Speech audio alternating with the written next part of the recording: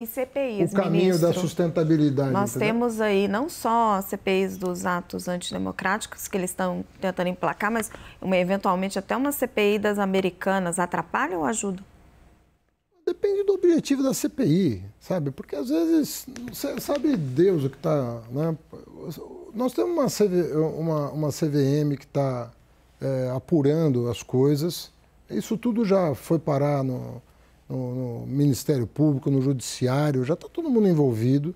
É, se o Congresso, no, na sua independência, imaginar que ele tem condições de ajudar a esclarecer mais, agora, se for para é, criar mais confusão, não é bom. Agora, se for para ajudar o país a, a, saber o que de fato aconteceu, agora, as medidas no âmbito do, do Executivo estão sendo tomadas para pôr, pôr em pratos limpos o que aconteceu na Americanas.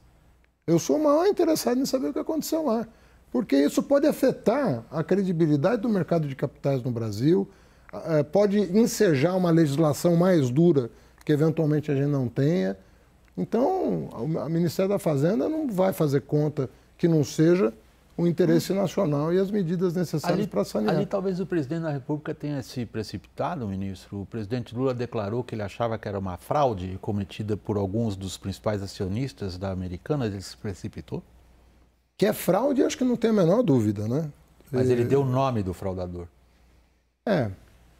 Eu dou, eu sempre espero transcorrer, até porque eu estou no Ministério da Fazenda, mas enfim, é uma fraude grande, é uma fraude é, que abalou o mercado, porque é meio por cento do PIB, não é uma coisinha. Está afetando a economia, está afetando os humores, está afetando o Banco Central, está afetando tudo. O sistema bancário brasileiro sofreu um golpe grande. e os bancos são os primeiros a dizer que, é, que foi fraude. Né? E, obviamente, que as suspeitas são legítimas, mas tem autoridade para apurar até onde vai a responsabilidade.